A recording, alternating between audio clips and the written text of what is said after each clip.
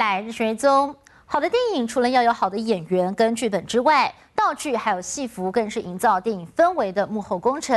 为了让大家回味在过去半世纪的金马风光，金马执委会是特别举办了风华展，历届影帝影后所穿的戏服一次展出。像是知名的美术指导叶景天，曾经在二零零一年以电影《卧虎藏龙》荣获奥斯卡金像奖最佳艺术指导，他也大方的出借章子怡在片中的新娘服。另外，像是《赛德克巴莱》这部在台湾史上。耗资甚巨的剧作，戏服道具自然是不会马虎。我们带大家来看看这些道具戏服的风华故事。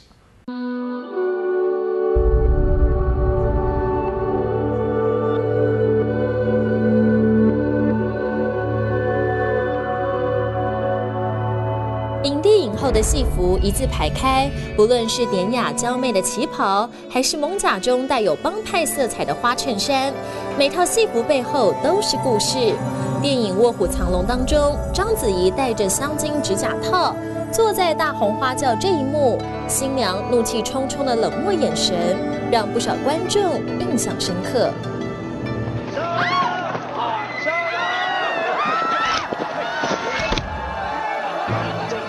细看章子怡的新娘服，烫金的喜字上头，一只粉红色蝴蝶展翅飞翔，成功凸显出玉娇龙的骄横性格。姐姐，你想死我了，想我干嘛？没事干呗。知名美术指导叶景天凭借《卧虎藏龙》夺下二零一一年奥斯卡金像奖的最佳艺术指导。他的另一套得意之作出现在章子怡和杨紫琼的精彩对手戏中，浅褐色的烫金戏服特别做旧处理，增添时代感。曾以人鱼朵朵夺得金马最佳美术设计的王亦菲老师，深知道具足以左右电影质感。稍不留心，观众就会看出破绽。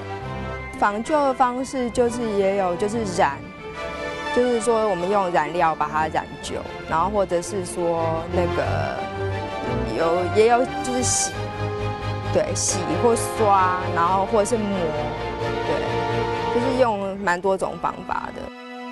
五十年来，金马出过无数影帝影后，每件戏服都有故事，展现绝代风华。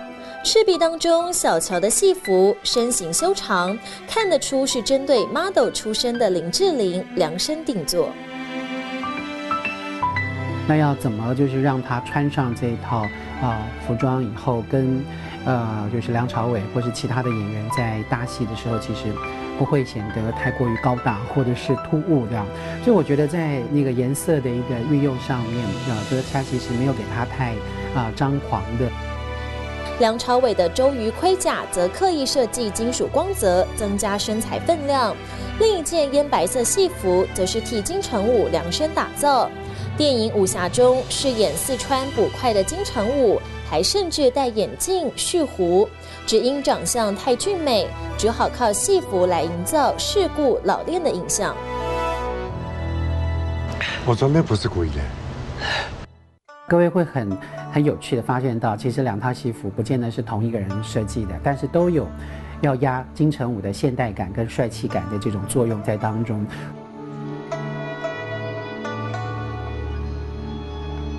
阿姐，我绑扎了几十个月噶。侯孝贤执导的电影《海上花》同样是古装，却让片中的青楼女子呈现迥然不同的风情。李嘉欣饰演黄翠凤，精明灵巧。衣服以红色调为主，是片中形象最强悍的妓女。刘嘉玲饰演妓女周双珠，不孕不火，韵味十足。戏服也特地摒除大红大紫，而是以蓝色为主色调。那两年随便啥要紧，自己在谁不要讲，上班弄回到房间里去，上就能出来。刘嘉玲所饰演的角色在影片里面是一个不那么张扬的。就说也没有像其他的角色就是这么厉害，这么会算计。呃，他的角色是一个蛮会替自己跟呃姐妹或家人着想，但是呢，都是淡淡的来，淡淡的去。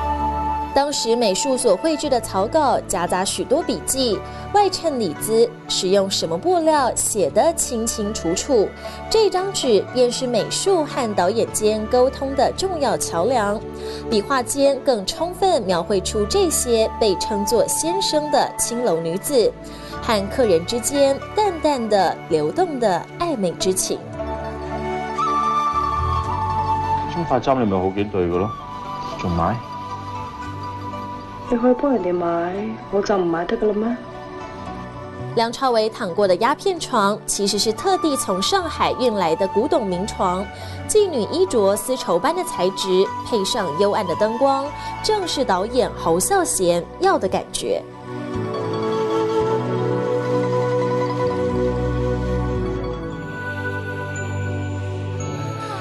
过戏服走入电影时光隧道，电影《金鸡》当中的宣传服，黄配绿加上羽毛，加上趣味十足的香肠造型，越俗艳就代表越成功。嗯，你想想看，就是一个电影荧幕这么大，然后我觉得如果一个特写一个什么，就是非常非常在荧幕上是非常清楚的，对，所以我觉得其实拍电影做人的造型细节应该要非常的讲究。电影《如果爱》当中，周迅的戏服则充满珠珠恋恋，营造出片中歌舞团一般的气势。大红玫瑰衬上黑底的旗袍，则是梅艳芳生前在川岛芳子所穿过的戏服。另一套充满现代感的黄绿色玫瑰旗袍，贴身性感风格，则曾经属于影后张曼玉。到那个时候已经比较现代，然后他们有西方文化进来，所以他们就是呃，所以旗袍就会有曲线，而且是非常展现女女人的曲线，它是非常非常合身的。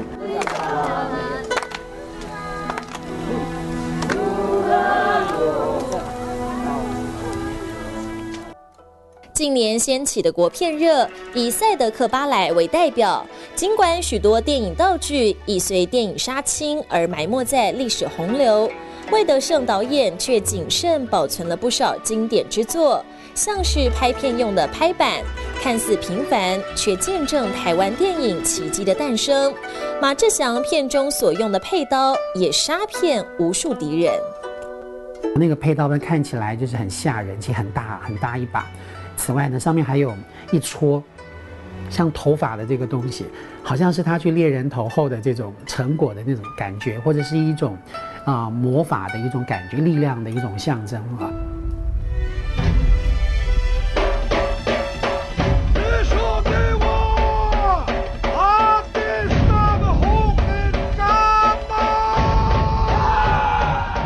烈火战争中，族人赤脚奔跑，惊心动魄的场面，道具服饰若不能说服观众，演员表演起来会更费力。赛德克巴莱的服装下足功夫，不但要符合原住民生活的质朴感，材质还不能太重。啊，你要考虑它在自然光下。啊，他的这个啊衣服的造型啊，甚至是他在奔跑时候，他随风啊，就是啊摇曳的，就是他的一个幅度，就可能会因为材质会呃影响到。那如果他在奔跑的时候，衣服都没有所谓的飘动感的话，那他就带不出那种速度感了。电影道具虽然不会说话，却创造出魔力般的氛围，让观众信以为真，让影像栩栩如生。一套套的影帝后戏服，令人仿佛置身金马五十年的历史银河，是华语电影不可磨灭的印记。